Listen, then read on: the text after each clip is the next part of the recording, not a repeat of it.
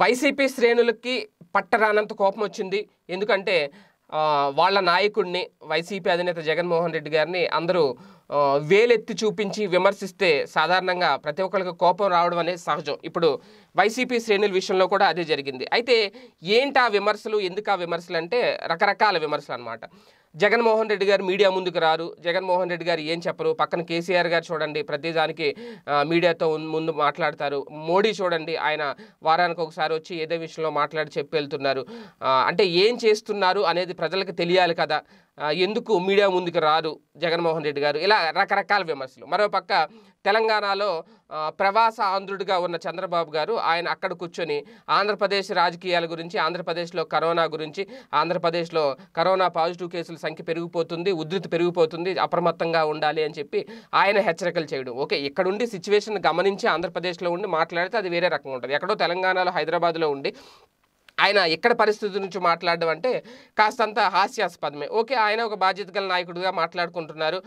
ఆయన కూడా ఒకప్పుడు ముఖ్యమంత్రిగా పనిచేస్తున్నారు కాబట్టి ఆయన కూడా ప్రతిపక్ష హోదాలో ఉన్న ప్రజానాయకుడే అని అనుకోవాలి కాబట్టి ఓకే దాన్ని కూడా ఎగ్జామ్షన్ ఇవ్వాలి దానికి కూడా. దాని మీద కూడా విమర్శ చేయాల్సిన అవసరం లేదు. అది ఒక ఆయన రెస్పాన్సిబిలిటీగా ఫీల్ అవుతున్నారు. అయితే ఇక్కడ ఏంటి అంటే ఎవరి బాధ్యతలు వాళ్ళు సక్రమంగా చేయాలి కానీ ఒక ఎందుకు ఇప్పుడు అధికారంలో ఉన్న ముఖ్యమంత్రికి మీరు అలా చేస్తే బాగుంటుంది ఇలా చేస్తే బాగుంటుంది కొత్తగా సర్టిఫికెట్లు ఇవ్వాల్సిన పనే ఉంది.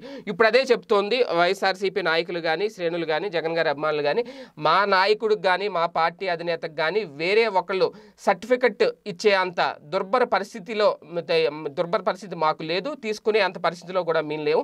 మీ పని మీరు చూసుకోండి అనేది. ఎందుకంటే జగన్మోహన్ రెడ్డి గారు చేస్తున్న పనులు ఏంటి అనేది ఆంధ్రప్రదేశ్ ప్రజలకు తెలియాలి. మీడియాకో లేదంటే ఇంకొకరికో ఇంకొకరికో తెలియాల్సిన అవసరం లేదు. ఆల్రెడీ జాతీయ మీడియాలో ఒక అద్భుతమైన కథనం కూడా వచ్చింది. ఎన్డీటీవీలో మనం ప్రసారం చేశారు. టాప్ వన్ ప్లేస్లో ఉంది. లాక్డౌన్ అద్భుతంగా అమలు చేసిన రాష్ట్రం ఆంధ్రప్రదేశ్ అంటే ఒక కథనం వచ్చింది. అంటే జాతీయ వ్యాప్తంగా అందరూ చూశారు. దేశవ్యాప్తంగా అందరికీ తెలిసింది. ఓకే ఇక లోకల్ మీడియా అంటారా? ఎప్పుడూ కూడా జగన్మోహన్ రెడ్డి గారికి వ్యతిరేకంగా వంటలు వార్చి వడ్డించడంలో అంటే వంటలు అంటే ఆ రకమైన కథనాలు వండి వడ్డించడంలో ఎల్లో మీడియా అనేది ఎప్పుడు సిద్ధంగా ఉంటుంది. జగన్మోహన్ రెడ్డి గారు ఏం చేసినా ఎంత అద్భుతాలు చేసినా వాళ్ళకి అందులో ఏదో బొక్కలు కనబడుతూ ఉంటే ఖచ్చితంగా అవి నచ్చవు. సో అటువంటప్పుడు మీడియా ముందుకు వచ్చి నేను అది పీకాను ఇది పీకాను నేను అంత తోపును ఎంత తోపునని చెప్పుకోవాల్సిన దుర్భర పరిస్థితి అయితే జగన్మోహన్ రెడ్డి గారికి లేదు అనేది ఆ పార్టీ నాయకులు చెప్తున్నమాట సో అటువంటి సిచ్యువేషను మీడియా ముందుకు వచ్చి ప్రతి దానికి డబ్బా కొట్టుకునే అవసరం మేము ఉన్నాము అని చెప్పి ఉనికి చాటుకోవాల్సిన అవసరం మీడియా ముందు మాత్రమే ప్రచారం కోసం ఉనికి చాటుకోవాల్సిన అవసరం ఎవరికే ఉందంటే ఇప్పుడు ఎవరైతే మీడియా ముందుకు వచ్చి పదే పదే డబ్బాలు కొడుతున్నారో వాళ్ళకు ఉంది అనేది అది వాళ్ళెవరో ప్రజలకు తెలుసు అనేది కూడా వైసీపీ నేతలు చెబుతున్నమాట. అయితే ఇక్కడ ఏంటంటే లాక్డౌన్ పగడ్బందీగా అమలు చేస్తున్నారు. ప్రజలకు ఏం కావాలో అన్నీ చూస్తున్నారు. వాలంటీర్ల ద్వారా నిరంతర సర్వేలు జరిపిస్తున్నారు.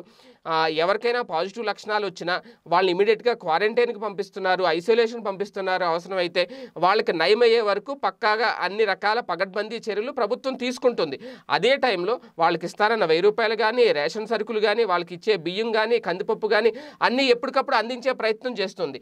అన్ని డిపార్ట్మెంట్లు కూడా వాళ్ళ వాళ్ళ పనిలో ప్రజలకు సేవలు అంది అందించే విషయంలో కానీ సంక్షేమ పథకాలు అందించే విషయంలో కానీ వాళ్ళు వాళ్ళ పనులు వాళ్ళు చేసుకుంటూ నిమగ్నమైపోయి ఉన్నారు.